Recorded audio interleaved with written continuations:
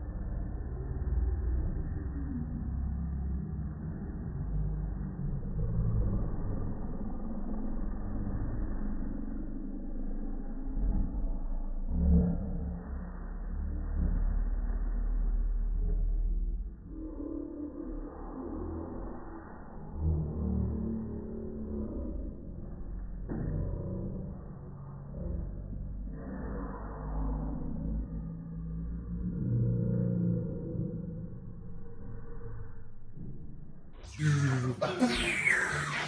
know how long that video is gonna be now?